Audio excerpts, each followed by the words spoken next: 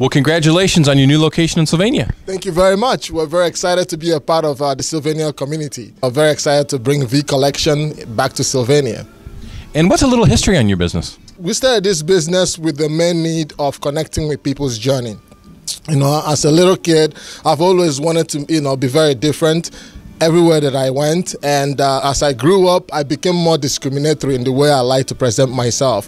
What I found out that there was a lot of people that were like me, and they don't want to be able to, you know, exemplify themselves by the way they look. And that's pretty much the reason why we started this business.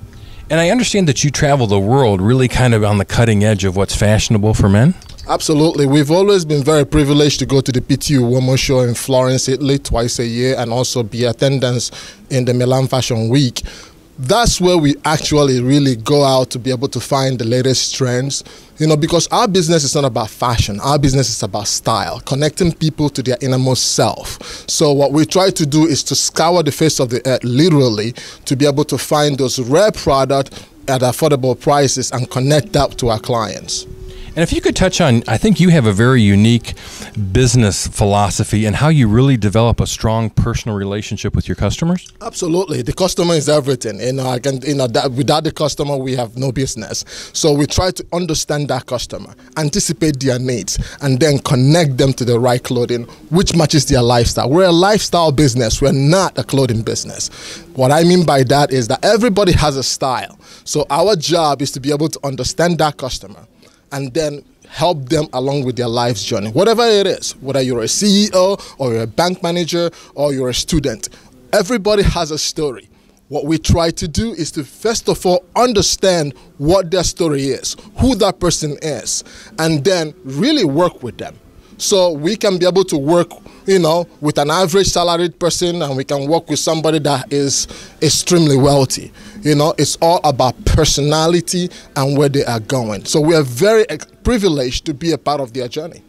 And how important it is specifically for business people, do you think, to present a good image for themselves? Incredibly important. Everybody is a brand. You talk about Mercedes Benz, what comes to your mind? You talk about BMW, what comes to your mind?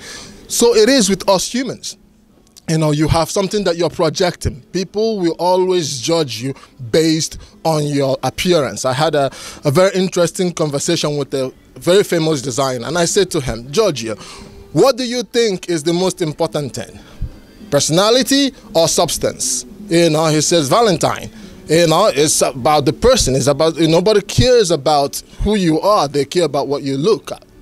So we strongly believe that in that done, we want to be able to help people become more acceptable within whatever sphere of influence they are. It makes life easier. I can guarantee you that.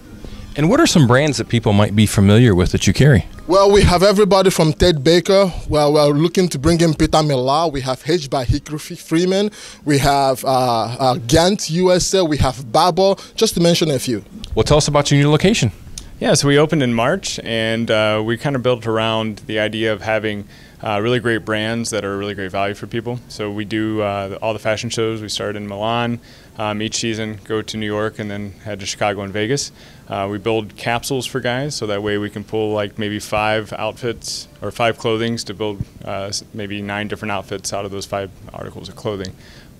And I understand that you have kind of an interesting story on how you and Valentine met and how this all came about. Yeah, actually, I was Valentine's customer. Uh, I started off there as a, as a customer, just uh, we both had a passion about clothes and, and talked about that uh, quite extensively.